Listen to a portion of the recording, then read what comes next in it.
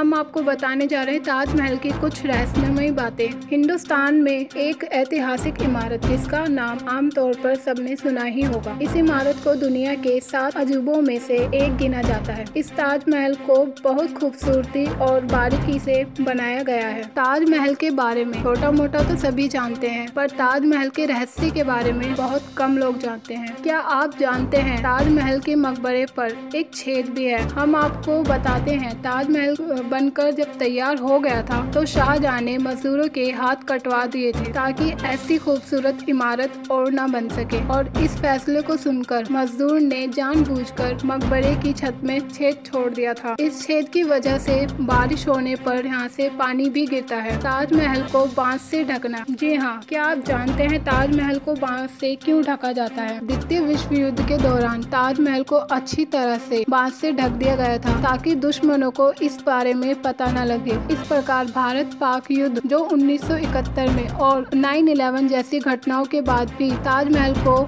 सुरक्षित रखने के लिए बाँस का घेरा बनाकर ढक दिया जाता है। ताजमहल एक पाक ज़मीन भी है, जो लोगों को दोष मुक्त भी करता है। ताजमहल की मुख्य मीनारें भी हैं, जो एक दूसरे की ओर झुकी हुई हैं, ताकि भूकंप आने पर ताजमहल की गुंबद पर ना गिरे। ताजमहल बनने का आधार एक लकड़ी थी। ताजमहल को एक ऐसी लकड़ी से बनाया गया है, जो पानी मिलने पर ही मज़बूत बनी रहती है और इस लकड़ी को मज़बूत बनाती है वहाँ की यमुना नदी। ताजमहल को बनाने में बेशकीमती पत्थरों का इस्तेमाल किया गया था, जो 28 तरह के पत्थर थे और इन पत्थरों को चीन, तिब्बत और श्रीलंका से लाया गया था। इस बेशकीमती पत्थरों को अंग्रेज़ अपने ब्रिटिश शासन काल में उखाड़ कर ले गए थे। ताजमहल को विश्व में सबसे ज़्यादा देखी जाने वाली इमारत भी कहा जाता है। यहाँ एक दिन में आए सैलानी जिनकी संख्या 12,000 तक होती है। इसलिए विश्व का सबसे ज़्यादा देखी जाने वाली इमारत है। शाहजहां अपने लिए भी एक काला ताजमहल बनवाना चाहते थे लेकिन उनका ये सपना सपना बनकर ही रह गया क्योंकि उनके बेटे